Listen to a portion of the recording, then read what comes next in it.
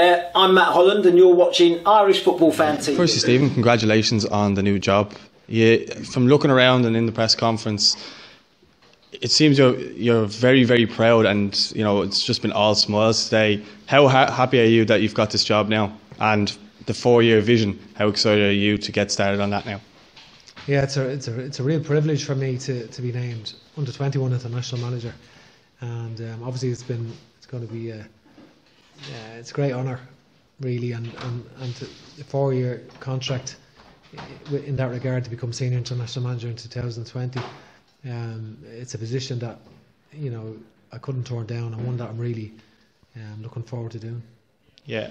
How vital is it for you to learn from someone as experienced as Mick McCarthy? He's obviously been there and done it. Um, you speaking about you're going to be working close to him. You, is that something you're really excited about learning from him? Yeah, I think uh, obviously Mick has captained the country um, brilliantly at, at the tournaments and obviously managed managed uh, the country previously in, in, at the World Cup and and certainly uh, he has great experience and I can only benefit from that. You know, I think I can only benefit from that. And he is the manager of the international team, and uh, you know, I look forward to working with him. Yeah, uh, judging from your press conference earlier, I, I, I took in a lot from your knowledge of the Irish players seems to be something that's you know got to be admired.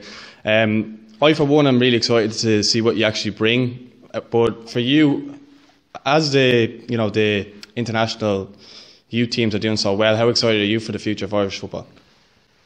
Yeah, it's uh, there's been some some good results of late, but more importantly than the results, some really exciting players are emerging. That's very important. So we've got to nurture and develop them, make them, you know, and, and create an environment for at under 21 level that they can come in and flourish and do well. I'd like whether we play in Tallaght, Turner's Cross or Sligo, I'd like full houses for the under 21 international games. That's what I'd like, and I'd like those players to come and feel an experience of playing the under 21 games because some of the under 21 games, the crowds have been small, uh, the atmosphere has been flat, and I think it's important that uh, there is full houses and that people really get behind that uh, of the next generation of players coming into the first team. And uh, I want those players to go. And obviously, Ireland have never qualified at this level. It's very difficult to, to qualify. Only one team qualify automatically and uh, very difficult to qualify. So the draws on the 12th of December, the matches start from March, so then we'll know more then. Yeah, and just on, on Dundalk, I know you're probably getting asked a lot about them, but it seems to be, you know, you took them over and they weren't in the greatest shape, but it, it seems to be that you'll go down now in, in folklore as a cult hero for what you've done. And you've left them in good hands now, is that fair to say? Yeah, I feel that Dundalk are in a brilliant position. You know, uh, it's a real wrench to leave Dundalk um, uh, you know, it was a, a, really significant part of my life.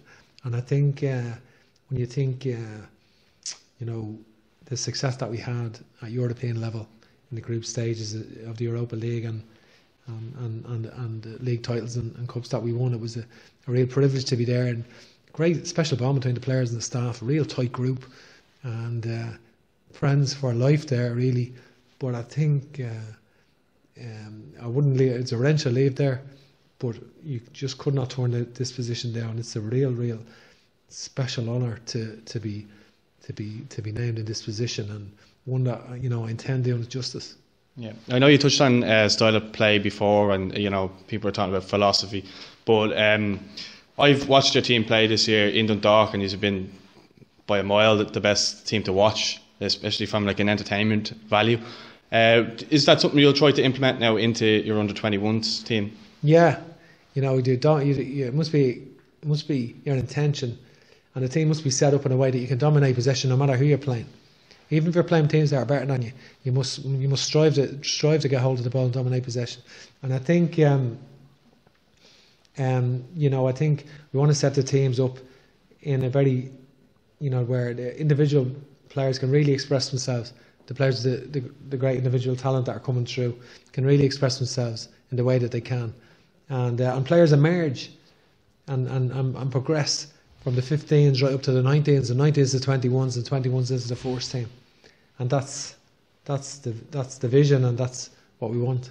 Yeah, and just uh, lastly for me, uh, people are saying you know all of we have a big social media following and you know with Twitter polls and Instagram polls and to be fair. You were seem to be the peop, uh, the favorite person of everyone to actually get the job. So. I just want to say congratulations and best luck with the job, and I'm looking forward to the next four years. Thank Thanks you. very much. Thanks. All right, cheers. Thanks.